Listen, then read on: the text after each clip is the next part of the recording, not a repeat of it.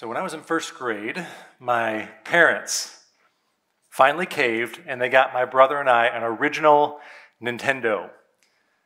Now we had been wanting one for a while, but and it had been out for just a little bit, but we finally got it. And the original Nintendo, for those of you who were around and kids in the 80s, you probably remember some of this. It came, there were different versions you could get, but you could get the box that had the, the dual game in it, which I have right here. I actually have the one I had when we first got it. So uh, it had Mario and Duck Hunt, if you remember that. And it came with the little zapper gun. Remember that? Okay. So got that, first grade, and uh, that was a blast. Played it a lot and uh, had a lot of fun. But then, what had happened was that Christmas, my uncle who lived in Texas, he had a son who was much older than me, and the Nintendo had been out for just a little bit, and so he got all these games, and he, he grew sick of it pretty quick. So my uncle took all my my cousin's old games and he shipped them to our house, and that was a Christmas present. And there were so many amazing Nintendo games that we got that Christmas, and I, I have them, some of them in this, in this, box. Not all of them, but some of them. Uh, they're classics. Can I just talk about them for a second? Is this okay? All right. So we have uh, the original Legend of Zelda, amazing game, gold, right? Classic. Uh, Kung Fu, great game. Tetris, also classic. Uh, everybody remembers Contra. This game was amazing. I still remember the code. You guys remember the code to get 30 guys? Remember it's up, up, down, down, left, right, left, right, B, A, B, A, select, start? No, am I, am I losing you? Okay. Uh, let's see. Tecmo Bowl. I mean, come on. Great. Uh, Bible adventures. I threw this in here because I'm a pastor and I feel like I need to kind of like balance out what I'm talking about right now, so it's more spiritual. So, terrible game, but I, I brought it. Uh, Mike Tyson's Punch Out, great game. Yep, good one. But of all the games that we had, do you want to know what my favorite game of all time is? And you may disagree, that's okay. Favorite game of all time is Mario 3. Mario 3 is amazing. Now, you can disagree with me, okay? That's all right. We can still be friends. Um, you can disagree with me. You'll be wrong if you disagree with me, but you can disagree. Mario 3 was amazing. I still remember when we got Mario 3 for the first time right? And, and I got it out and we got ready to put it in the Nintendo. And so what do you do? You blow in it first, right? That's what you always had to do to make sure it worked. Sometimes you put your shirt over it and blew in it that way so no spit got in the cartridge. And then you put it in, and the opening screen came up, and then you started off in World 1, the first level, remember? And you get the leaf, and if you get the leaf and you run really fast, it does a little whistle sound, and you fly. And uh, if you get the leaf in World 1, that means you can get two warp whistles. Anybody tracking with me on this? No? I, is it just me? Okay, you get two warp whistles in World 1. Then if you beat World 1, you can warp all the way to World 8. And then in World 8, that's the final world, you play all these levels and you get to the end, and there's Bowser. He's the bad guy. And it was just always so intense when you finally got to the point where you're playing Bowser and and you have, you know, the princess is at stake. You got to save the princess, and so you're playing. And I just remember being so excited and kind of nervous about the end. And sometimes when I would play Mario 3, I could play it all the way through and beat it. And that was awesome. But there were other times where, as I was playing Mario 3, I'd get toward the, toward the end, and it seemed like something happened that prevented me from beating the game. And maybe you're familiar with this. This happens at times. All of a sudden, out of nowhere, strange things would start to appear on the screen. Maybe there'd be some like lines that would go up and down, or, or, eventually, sometimes like all these random squares would just appear, and like it just looked funny, and it was it was glitchy, right? The, the original Nintendo was glitchy, which is why you had to blow in it to get it to work, and which is why halfway through games, sometimes it would just start doing weird things. And when that happened, when a game got glitchy on Nintendo, it's not like you could save where you're at and then start over from World 8, right? Because original Nintendo, you couldn't save on these cartridges, so you just had to play until you got there. So I was stuck, and there was only really one thing I could do. You hit the reset button, and you start over. And if it's still glitchy, you might have to pull it out and blow on it again. But either way, you get the point. You hit the reset button, and you have to start over. That's just how it worked. And you know, as I think about just these old school games like that, it reminded me of something. It reminds me a little bit about something else in life. You know, in life, we always go into things, we begin to pursue things, and we have the very best intentions, don't we? Let me give you some examples. You got married, right? Because you thought, man, you loved each other, you're just going to settle down, you're going to live happily ever after, you'll ride off into the sunset, and life will be bliss forever. You have these best intentions and expectations for marriage. Or, or maybe for some of you, you know, in your faith journey, you got to a point where you were just so excited about your faith. Your faith was so strong and zealous that you jumped in and got involved in the church and you started serving the Lord and serving people and you're just on fire for Jesus. Or maybe some of us, you know, you, you had this dream job that you worked super hard to get, and you went through school and you did all these steps to get this job because you thought when you got that job, you're finally going to be content, you're going to be happy and satisfied, and life is going to be great for you. But the truth is, so often we go into these things with the very best intentions and expectations, but over time, stuff happens. Things happen that we didn't expect we encounter problems that we didn't anticipate when we started. See, the truth is, life can be pretty glitchy sometimes. Life can be full of glitches and challenges and trials and hardships. And let me give you some examples of what that looks like. That marriage that you were so excited about, that you thought you would live happily ever after, you go into that, and after a couple years, you begin to have fighting and problems and issues, and pretty soon your marriage is starting to crumble, and it's not what you thought it would be. For many of you, maybe even in your faith, there was a point in your spiritual life where you dove in and you got involved, but over time, some of those feelings began to fade. Maybe even your heart was filled with some doubt, and so you step back a little bit and you're no longer involved the same way. Things didn't work out the way that you had anticipated. Maybe for some of you, that dream job that you worked really hard to get that you thought would make you content and satisfied, the moment you got it, you realize that it's continuing to disappoint and there are issues at work, and now you're just walking around feeling depressed or upset about the, the this, this job that you've inherited. You see, there are times in life for all of us where we experience unexpected glitches and problems. And when that happens, what do we do about it? Do we just keep plugging away? Doing the same thing? Yeah, there are glitches and problems, but I guess we're just going to have to deal with it. Do we keep playing the game like we were? Or instead, maybe do we say, no, I'm done with this, and we just quit? We throw in the towel. Is that what we do? Do we just say, oh, I'm to abandon my marriage. It's not working out the way I expected. I'm to abandon my faith. I'm to abandon this job. Is that what we do? Or these really are only two options keep things the same, or quit? I don't think so. I don't believe these are our only two options. In fact, I believe that God's Word, Scripture, gives us another option to consider. What if instead of just doing things the way we've always done them and, and just realizing the fact that things are broken and we're not going to make any changes, or quitting, throwing in the towel, what if God wants us to stop for a moment, hit the reset button, and start all over, but with a mindset that's focused on what He desires instead of what we want to do? What if God wants to give us the chance in whatever we're facing right now to stop and hit reset? You know, when I open my Bible, I read that God's mercies are new every morning, which tells me that our God is a God of second chances. He's always giving us an opportunity to stop, hit reset, and start over. And so maybe it's time for you to consider that. Instead of just letting things continue to go the way they've always went and just living with it, or instead of throwing in the towel with your marriage or your job or your faith, maybe it's time for you to stop and hit reset and consider that God has a better approach with whatever area of life you're experiencing hardship. Maybe it's time to start doing things His way. And so here at FBC, that's what we're going to focus on for the next several weeks. We're doing a brand new sermon series here called Reset. It's all about those areas of life where we go into them with great expectations and intentions and encounter problems and glitches. It's all about stopping, hitting the reset button, and saying, Lord, what do you want in this area of my life? Because I want to do things your way, not my way. My way is not working out anymore. I want to turn to you. And so, over the next several weeks, we're going to look at a handful of different topics that we all face in life. We're going to talk about faith. We're going to talk about finances. We're going to talk about relationships, a bunch of things we're going to talk about. But this morning, we're going to kick things off by talking about the topic of work. The topic of work. And so, if you want to join me with that, go ahead and open your Bibles to Genesis chapter 2. Genesis chapter 2.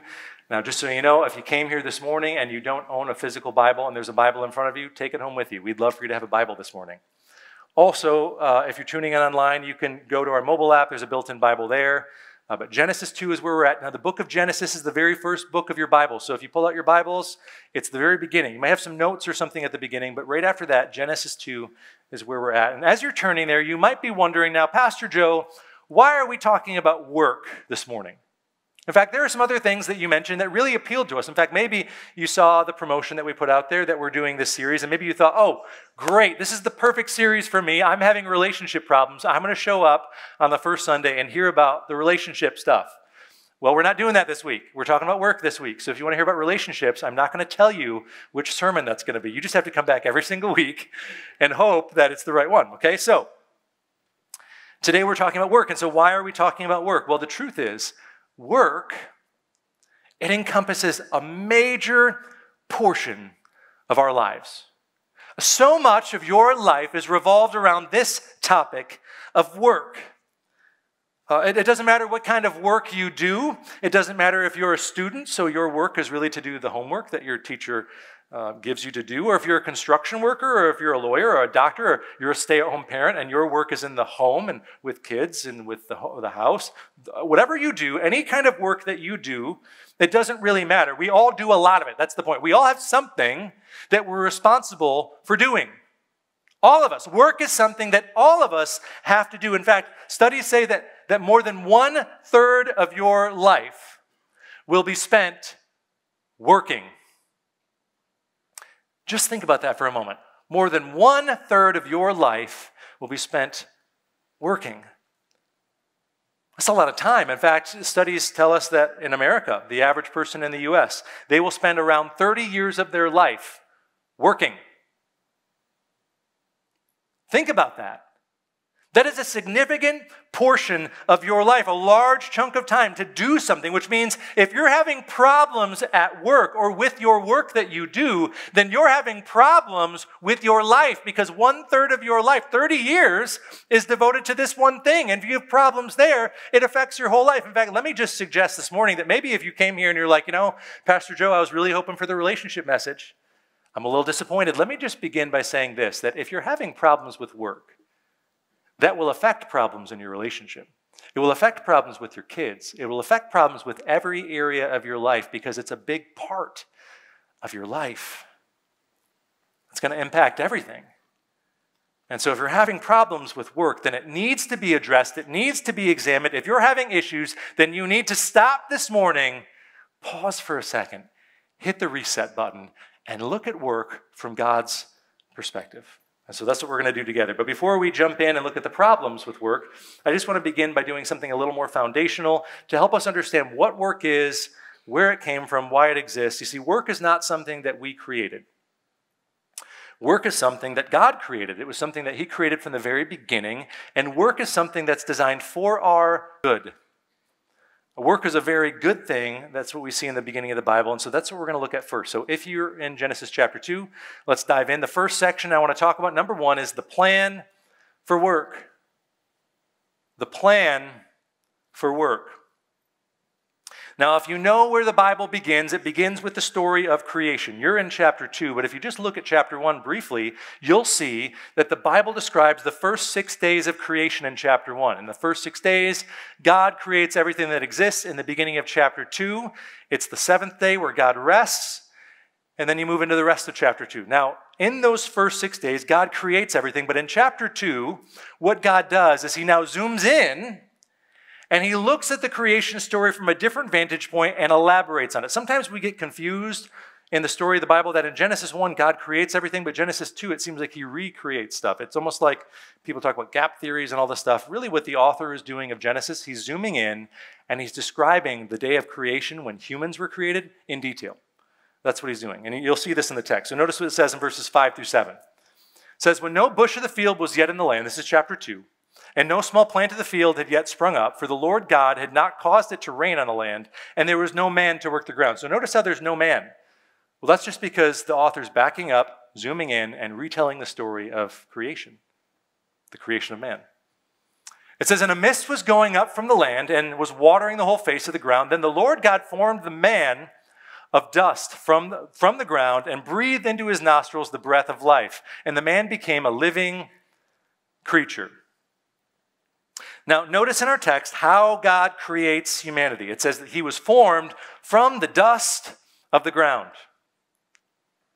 Now, if, and if anybody here's ever done pottery of any sort, right, you take the raw material, the clay, and what you do is you begin to shape it into something. And really, this is what God's doing in the Genesis chapter 2. He's taking the dust, which, if you notice in the narrative, has now been saturated by this mist. So it's wet, it's moist. He's taking mud, and he's sculpting Adam. He's sculpting man. And what he does is when he sculpts man, he breathes into man the breath of life. This is the description we get in Genesis of how the human was created. But notice uh, here in the beginning also, I just want to mention this. Just this is free of charge, okay? Before humans are created, what is God doing? What is he doing to make humans? He's working. God, in the very beginning, he's a God who's working. He shapes humans. God is not afraid to get his hands dirty. Literally, he got his hands dirty when making us. And So God is working, He creates the human, and if you notice, that's, that's the how. But then there's a little glimpse as to why He makes humans. Notice how it says that before humans were created, there's a little um, hint there. It says, There was no man to work the ground. You see, from the very beginning, God's intention for humanity was to make people with a function. People with a, a, role, a responsibility, a task. He endowed us from the very beginning with a deep sense of purpose. We were created from day one to do something. You and I were created to work. That's why God made us. In fact, if you look at verse 15 of the text, notice what it says. It says, The Lord God took the man and put him in the Garden of Eden to what? Work that's why he created him and put him in the garden. It was so Adam could work. Sometimes we tell people, in fact, I've said this too, that God created us because he wanted to have a relationship with somebody.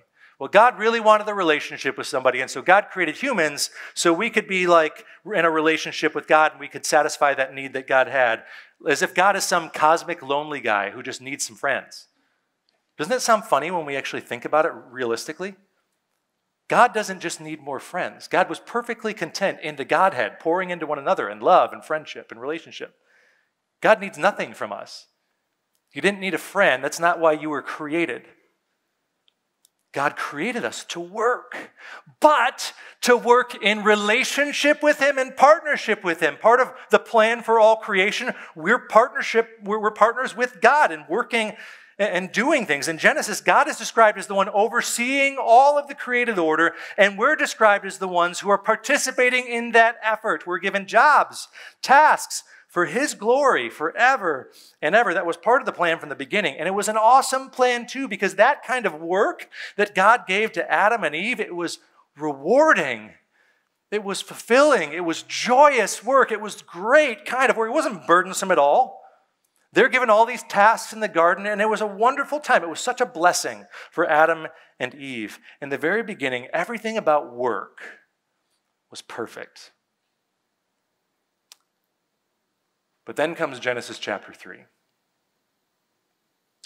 And everything perfect about work, it begins to unravel in Genesis chapter 3. And so the next thing we're going to see, number one, after the problem, or plan for, plan for work, number two, it's the problem with work the problem with work.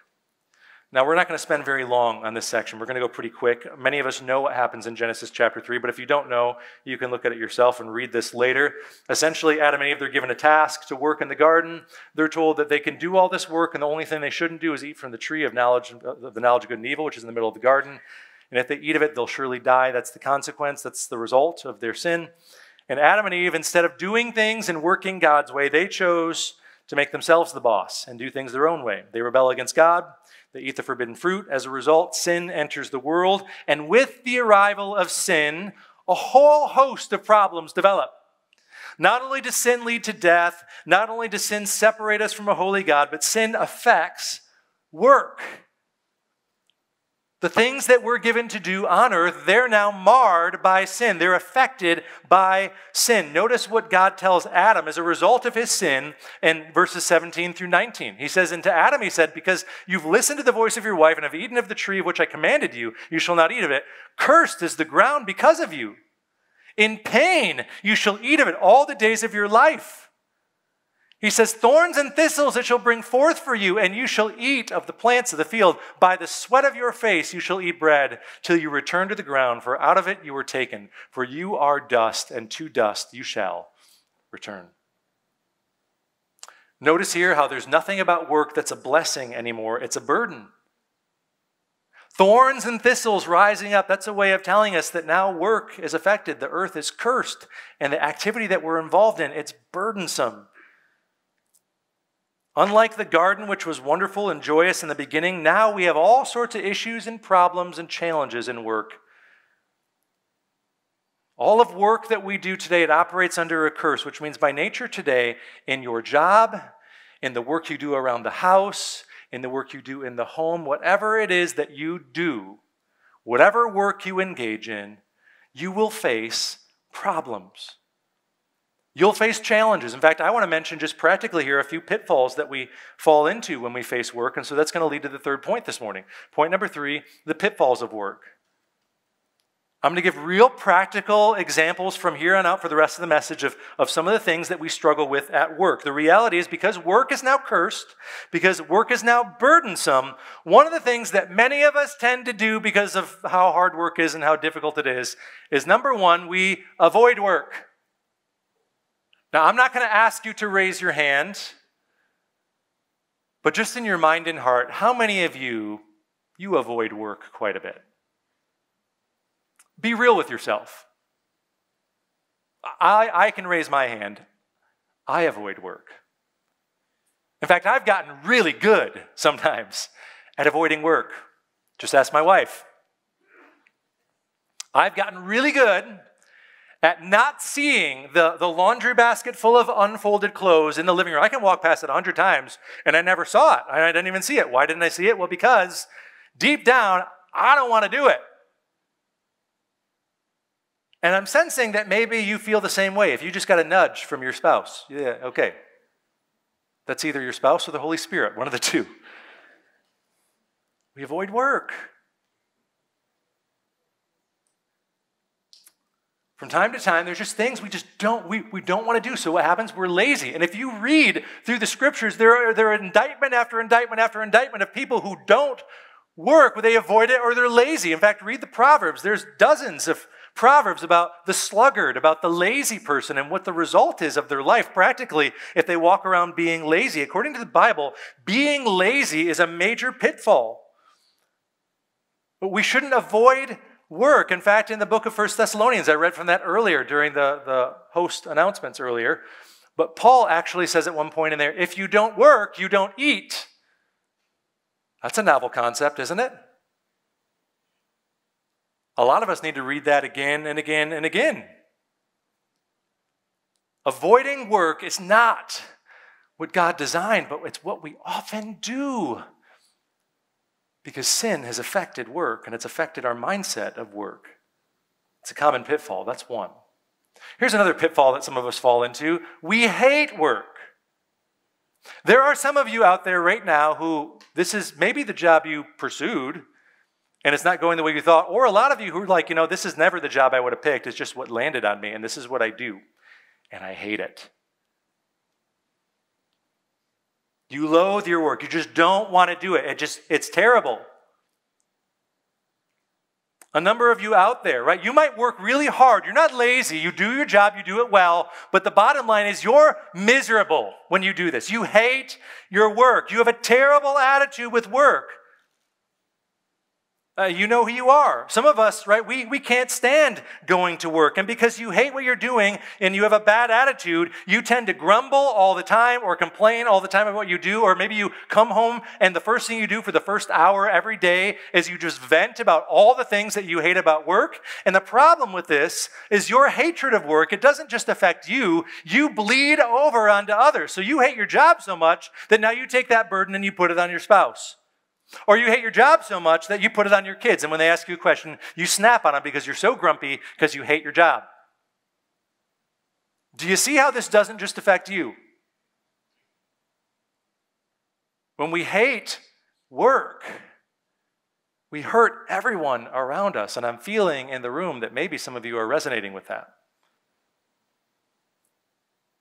This is not okay. It's a common pitfall, it's part of the curse. But it doesn't stop there. Not only is work burdensome for many of us, but there's also something else that happened as a result of sin to work. Work is not only a burden that we either hate or avoid, but work can also be a snare. In fact, there are some of us, just the way that we're wired and the things that we do, that we actually really love work. Maybe you really love what you do. But just because you love what you do and you love doing it doesn't mean that you're on the right side of this. Is it because of sin? Work can be a snare. For us, many, of us, right? Work ends up being a thing that becomes an idol in our life. At times, if we aren't careful, it becomes the most important thing for us. It's the number one priority in our life. For many of us, the pitfall is we worship work. We worship it. And when that happens, everyone else around us also suffers. Maybe some of you are facing that firsthand. You, you poured so much into this job, you pour so much of yourself. In fact, man, especially for us guys, this is really a struggle because we are made with this, I think, this desire to, to do and to have meaning in what we do, so much so that our identity is rooted to our job. Have you noticed that? When you, oftentimes, not always, but when you ask a, a female individual, hey, tell me about yourself, usually they'll lead with their family. You know, maybe their hobbies, and then they'll talk about work. But with guys, it's always the first thing work, what you do. That's because our identity is connected to what we do.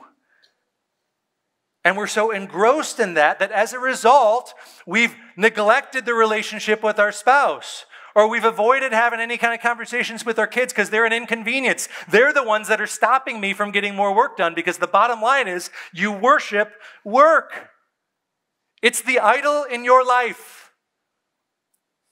And in all three examples, whether you avoid work, hate work, or whether you worship it, you're in the wrong. It's the wrong approach, and it's all connected to sin.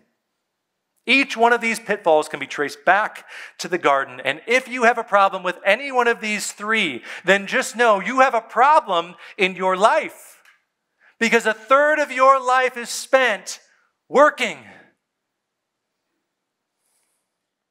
And so, what do you do? Do you say, well, it is what it is, and you just keep doing things the same way?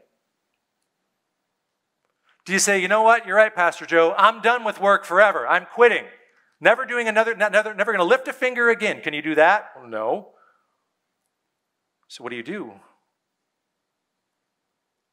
I think the answer is you stop, you pause, you hit the reset button, and you say, Lord, let me approach this in a way that honors you. What would you have me do in my work? How should I approach work in a way that pleases you and reflects your word?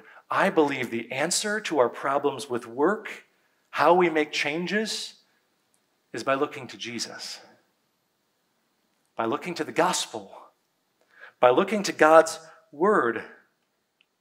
You know, when we look at God's word, not only did God create us, humans to work. He didn't just make Adam as someone who worked, he made the second Adam as a person who worked Jesus. Jesus came, right? He took on human flesh, he was sent here. And Jesus came to do a specific task, a job, a work. He had a function, a purpose. God gave Jesus work to do, to carry out God's will. And Jesus talks about what God's will was, what that work was to do. Repeatedly throughout Scripture, Jesus says he came to sacrifice himself for sinners like me. He says the Son of Man came to seek and to save that which was lost. Jesus said he came to destroy the works of the devil. He came to defeat the power of death. He came to reverse the curse in the garden. Jesus came to work. In fact, he didn't just come to work. Jesus came to embrace the most burdensome work the world has ever known. If you think your job is hard, imagine what it would be to come to be completely sinless and yet to take on the cross. to allow the penalty for sin to be placed upon your shoulders and suffering, hanging, and dying in the most agonizing way. That was the work that God gave Jesus to do. And yet he faced it. He faced it. Why? To fulfill the will of his Father and because of his deep love for us. Jesus accomplished the work of redemption so that we we don't have to work for salvation. He did that work for us, which is why at the end of his life, Jesus was able to, to pray to his Father, and he was able to say, I've glorified you on earth, having accomplished the work that you gave me to do, Father. I finished my task. The finished work of cross means now that we have new life in Christ. We have unwavering hope in Jesus. We've been given a new identity. Your identity is not in what you do. Your identity is primarily in Christ if you're a Christian. It's rooted in Him. And in light of the transformation that's taken place in us through what Jesus has done, God has given us His Holy Spirit. He's given us grace beyond measure. And because of that, we have the opportunity now to live in a new kind of way, a way that's consistent with who we are in Christ. So we can hit the reset button because we have the presence of the Holy Spirit dwelling within us, enabling us to live out this whole thing of work in a whole different way. And so, because of that, we now can, can respond in a way that honors God. In fact, in the book of Colossians, Paul reminds us of this. He says, Because you're united to Christ, because God has transformed who you are, your identity is in Christ, he says, put off the former ways of life and clothe yourself with Christ. Live in a way that's consistent with who you now are in Jesus. And so, Paul, he gets real practical. He talks about marriage, he talks about parenting, but he also talks about our mindset toward work. Because of Jesus, we can approach work from a completely different perspective. So hit reset and now hear what God's word has to tell us about the way that we should work. This is the fourth point now. Number four, the priority in work. What's the priority that we should have as we work? Well, the Apostle Paul, he, he tells us right here. He says, Whatever you do, doesn't matter what you do. You could be a teacher, you could be a, a janitor, you could be an engineer, you could be a student, stay at home mom, you could be whatever. Doesn't matter what you do. Whatever you do, work heartily as for the Lord and not for men, knowing that from the Lord you will receive the inheritance as your reward. You are serving the Lord Christ. You see, when we stop and hit the reset button and clothe ourselves in Christ and look at work the way that God designed, we see that we have a greater priority in our work than just getting the job done or making a living or putting food on the table. There's a greater priority here, Paul says. Whatever you do, whatever occupation, whatever work you're involved in, you work for the Lord. Jesus is our priority in work. And when we hit reset and make Jesus our priority, I'm telling you, it's amazing how practical this gets because the areas of life where we tend to fall into that pit, those things begin to fade away. When we put the right perspective on work, just think about it for a moment. If you make Jesus the priority of work, it's hard to be lazy, right? Because who are you ultimately working for? It's for the pleasure of God. In fact, you have an incentive to work even harder because maybe you're working and you're kind of like, you know, I remember my first job at a grocery store, I was making, you know, peanuts, hardly anything. Remember my first week uh, of the summer, I worked like 45 hours or something like that, and I looked at my paycheck and I was like, this is how much you get for that much work and a little overtime? This is terrible. Maybe not want to work so hard. But when you work for the Lord, you know that from the Lord, right, you'll receive an inheritance. Your hard work will pay off in glory. And so he's incentivizing you. Listen, if you're somebody who wants to avoid work, just know that you're working for Jesus. And not only that, he's going to reward you for hard work. So work hard. Notice how it helps you with that pitfall? Let me give another example. Maybe you're the person who hates work. Well, if you think about this the right way, it's hard to hate work when all your work is directed toward Jesus. Some of you right now, you go to work and the people you work with, you can't stand. Or the person you work for drives you nuts.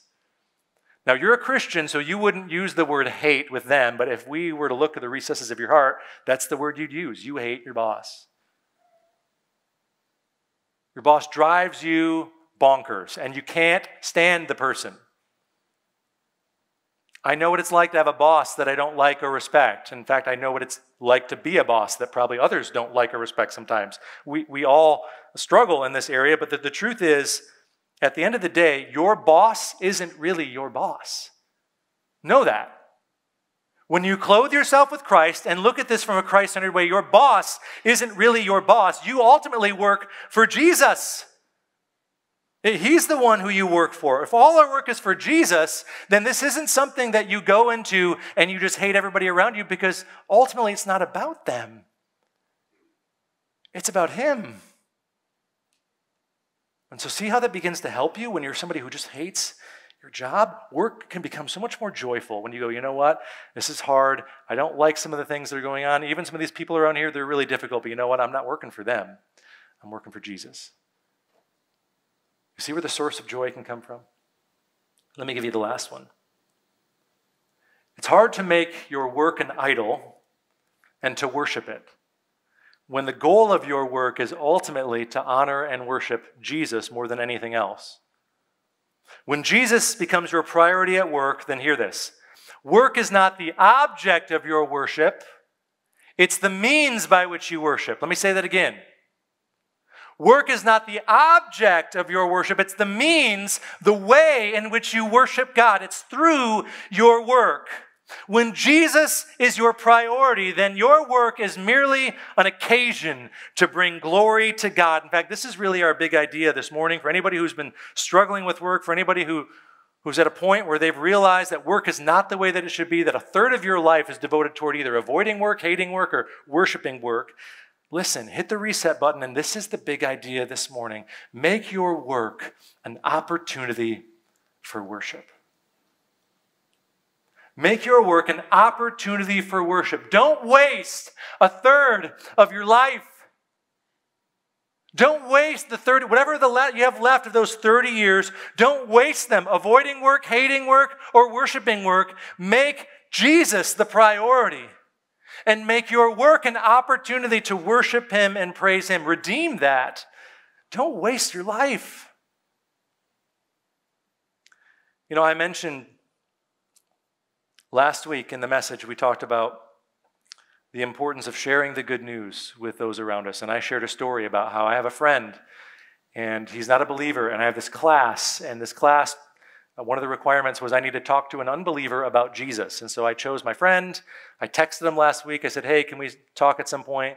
We scheduled the time and we talked on the phone for about an hour and a half this last week. So I was able to talk to him about Jesus, and it was a good conversation largely. But when it got to the, to the real crux of the issue, when we got down to it, and I said, Listen, this is the gospel. This is what it means to follow Jesus. What do you think about this? There were two barriers for my friend when it comes to following or, or believing in Christ.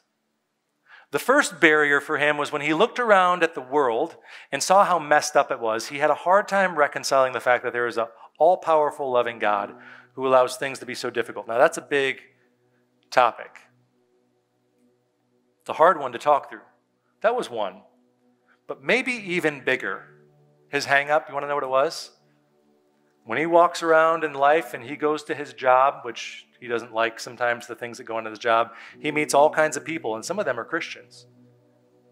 And they don't act any differently than anybody else. In fact, sometimes they act worse. And he encounters them at places like work, and he goes, Yeah, well, listen, if there's really a God out there who is really rescuing people and transforming their life, why do I see all these Christians around me who are living just as bad or, if not worse than the world? That gave me pause. Do you realize that when you go to work and you avoid things because you're lazy, or you just grumble and complain to everybody around you, or you're so consumed with it that everybody can see, man, that is your God? Do you see that, how that affects your testimony at work? People are watching us. And as I look at God's word and I realize that, listen, this whole perspective, when I make Jesus my priority, And when everything I do at work becomes an opportunity to worship God, that should be reflected in the way that I work in such a way that when people see Christians in the workforce, they should go, man, there must be something about that guy. Look at how great he is of an employee. Look how hard of a worker there. Look how he has everything in balance and does such a great job. There's something about that person that's different. Do you realize that practically speaking, I know this is unethical, but if you if you hire somebody and you were to say, well, are you a Christian? You know, and, and they say, oh yeah, that should be a box you check and go, oh, this is good. This is somebody we should hire. Christians should be the best employees. Why? Because we have the greatest boss. We work and labor to worship Him and honor Him in everything that we do. So, beloved, if you're a follower of Jesus, allow your life, allow your work to be redeemed and reflect the value of work that God has placed to those around you. Be a light for Christ in the way that you work and labor in such a way where you honor Him and glorify Him and long for the day when you can hear the words, Well done, good and faithful servant. Let's pray. Lord, I thank you for just this morning and for your word and for the reminder we have about work. Now, this is one of those topics that for so many of us we maybe don't think about or put enough thought into regarding how we work or our attitude toward work or our approach toward work. But Lord, uh, your word is clear that this is a big deal. It's a major portion of our life. So, Lord, I pray that right now your spirit would just work in us this transformation. That we would be clothed with Christ and we would begin to change the way that we work, that we could hit the reset button this morning and really approach work from a way that honors you above all else. So, Lord, help us with that this morning. And for the person in the room who came here, and maybe they came because their issue isn't a work issue directly, maybe it's a relationship issue, or maybe it's a financial issue, whatever it was, whatever it is, maybe it's a faith issue. I pray that they would continue to, to join us through this series. And that, Lord, that somehow by this amazing promise that you made, that your word will accomplish what you desire and achieve the purpose for which you sent it, that, Lord, they come here when they hear you, not my voice, but when they hear you th- through your revealed word, through scripture, and through the power of your spirit who's drawing them to yourself, Lord, I pray that they would be changed that you would help them transform their life, give them new life, eternal life, and help them to hit the reset button in whatever area of life is a struggle. We ask and pray for that. We thank you for what you're doing. We thank you for the work that you've accomplished in the sending your son Jesus. That's the greatest work, the most important work ever ever accomplished. And we thank you that Jesus said it is finished. And let's rest in that and trust in that and labor for your glory. It's in your name we pray, in the name of your son Jesus. Amen.